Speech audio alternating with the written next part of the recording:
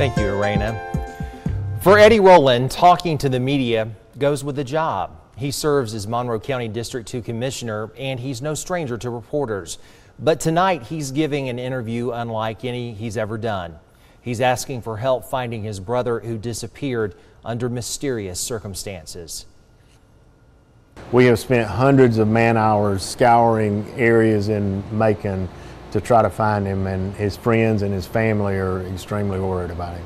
55 year old Richard Rowland came to Macon from his North Carolina home because he needed to push a reset on his life. He's been having some, some uh, mental issues, just some, uh, some mental problems. Anyway, he came down here and uh, about three weeks ago, and then uh, about 10 days ago, he just disappeared just disappeared after Bibb County deputies say he was last spotted leaving the extended stay hotel on Riverside Drive in his pickup truck with DeAngelo Davis riding with him.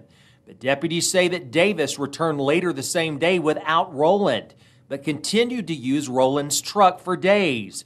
That's why deputies say that Davis has been arrested and charged with felony theft. He said that my brother just got out of the vehicle and left and left his vehicle with this guy, but but that's that the, the story's not adding up. But one huge concern that adds to the Rowland family's endless worry is what they say they learned about Davis's background. He was arrested for murder in 2017, I think it was. Um, he was uh, he pled out to a lesser charge and he was in prison and he was let out in January of this year. The heartbreak just overwhelms Rowland's mother. We do miss him and we love him. But until they hear otherwise, the family continues to hold out hope and continues to search.